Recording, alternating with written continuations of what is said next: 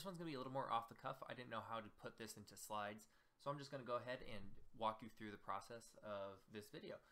So what I want to talk about today is um, bundle size for one thing and how to analyze what is causing your bundle to be as large as it is. The reason I'm talking about this today is I've found that as applications get larger, especially when you talk about enterprise applications, they become too large, which it, it's nice to be able to bundle everything and have imports and exports and all of that, but we really need to start thinking about the impact to our end user. The bundle that I worked with um, in, in my day-to-day -day job, it was over 16 megabytes. It had uh, seven different applications bundled into one app, and it, it led to over 10 second load time, and that's on a good connection. If I swapped it to 4G and um, throttled back that connection speed, it ended up being over 30 seconds. So what we did was utilize a, um, a bundle size tool, and what I'm going to show you today is how to implement that into your application. So the the tool that we used was the Webpack Bundle Analyzer. You can see the GIF here going through kind of what it does, but we'll get into that a little bit later. So what we're going to go ahead and do is go ahead and install this uh, plugin. We're going to do a yarn add or an npm install of Webpack Bundle Analyzer, and we're going to save that. So now that that's uh, installed, we're going to grab the plugin and we're going to say Webpack Bundle Analyzer.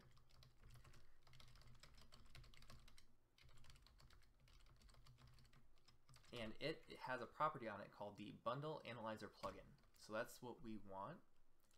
And we're going to take this and we're going to add it to our plugins. So we're going to construct a new um, instance of it you don't have to provide it a configuration object, but for this example, we're going to go ahead and do that. Um, if you don't do it, it ends up creating a server and it will update the bundle size as your code changes. But I find that that dynamic nature isn't necessarily important to me when I'm trying to analyze a bundle. It's more of a, I'm going to try to figure out how to remove something and see if my app still works and then check the resulting size than it is to update it constantly. So we're going to change the analyzer mode from server, which is the default, to static. And we're going to have open analyzer set to true. What open analyzer does is when it completes the process of analyzing your bundle, it will open up the resulting GIF. So now that that's added, we can execute a webpack.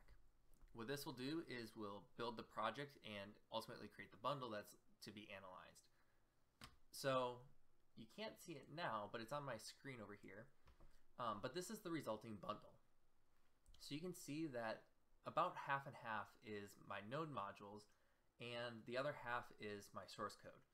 Um, you can also see that my ES6 series of videos takes up a good portion of that source. So it's, it's pretty cool that you can bounce around and look at certain things. You can also see from the hover text, I'm not sure if I can zoom, I can't. Um, so it, it shows you the stat size, the parsed size, as well as the gzip size. This is important if you have a server that will um, gzip your content and serve it to the client that way.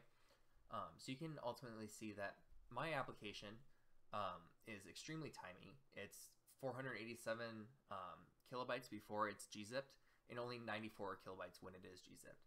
But if, like I mentioned earlier, the application I worked on was over 16 megabytes. So I had I had a very very large graph of dependencies.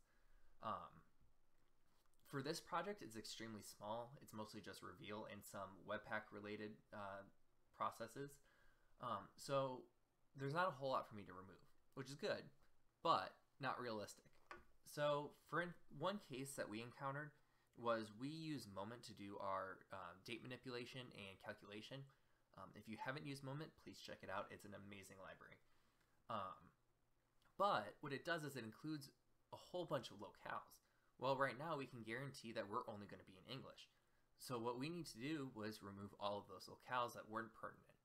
So that's an example of something you can identify using this plugin and address with that knowledge in mind. Now, one thing to note is this will run every single time I do a Webpack build, which is a little bit annoying. So instead, what we're going to do is we're going to make our Webpack configuration dynamic. So right now, I am exporting an object that represents our Webpack configuration. Nice part about this is I can declare this as an object and manipulate it in a function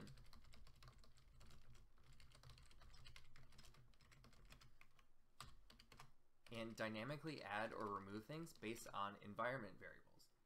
So environment is something that gets passed in via Webpack and if you perform a Webpack and pass it env dot some value, so let's say run analyzer, this property, run analyzer, represents whatever argument is passed in. So I can say if environment dot run analyzer,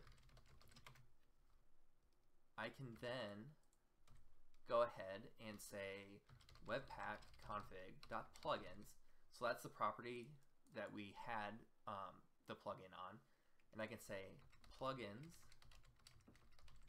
dot push since it is an array and we will construct that same analyzer plugin with run analyzer mode as static and open analyzer as true. Now we will return our Webpack configuration object. So with the um, with the environment not set, you can see that it won't open the analyzer. Okay, sorry for the jump cut, but I had an outdated version of a global webpack. Um, so I had to go in and install that and didn't want to leave you waiting for it. Um, so you can notice a small change. Um, I have declared a default argument for the environment. That is because if we pass in just webpack, that object would be undefined. So we want to make sure that this doesn't blow up when that happens. All right, so that being said, let's do run analyzer, uh, where analyzer is the, or run analyzer is the name of the property that we're looking for. And if I set that equal to true, you'll see that when it executes, it will dynamically add the new plugin that we added and make it so that I can choose to turn on or off the fact that it runs the plugin. So it did run the plugin, it just opened on my other monitor. Um, so with that being said, we now have a dynamic build process where we can run our normal Webpack, but also when we're trying to um, address our, our bundle size, we can run this analyzer as well. One thing I like to do is actually alias that as an npm script. So I will do a new npm script that says run analyzer, and it will do the Webpack process for us. Webpack with uh, m.run analyzer set to 2. True, sorry. Um, so the reason for this is I can abstract out what properties being set and also if I have a production build. So let's say we had um, uh, production where we run a webpack with environment pro uh, property set to true for production. If I wanted to analyze that bundle, I want to make sure that that I'm doing a npm run production and then the run analyzer.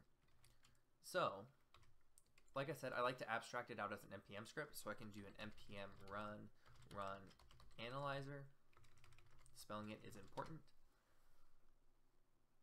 And you can see that that, that uh, same script that we ran gets executed under the covers and will open the bundle for us. So uh, that draws this video to a conclusion. I hope that you enjoyed the, the, um, the new plugin and hope that it can make your bundle smaller and your load times faster. Thanks.